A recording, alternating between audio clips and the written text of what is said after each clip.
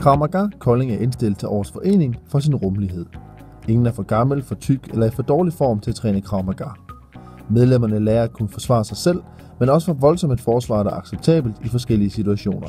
Så ingen flår altså kan armene af onkel Kai, når han til familiefesten vil demonstrere et brudgreb. Alt sammen foregår med sved på panden, godt humør og stort fællesskab.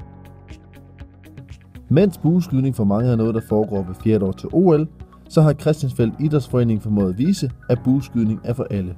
Stort socialt sammenhold og nye topmoderne faciliteter har tredoblet medlemstallet, så omkring 45 medlemmer i dag jævnligt spænder buen og sender en knivskarp pil afsted mod bullseye. Paraderne er oppe, når træningen er i gang i Kolding Bokseklub. Men paraderne mellem medlemmerne er aldrig hævet. Uanset om man er høj eller lav, ung eller gammel, tyk eller tynd, så er der plads til en i klubben.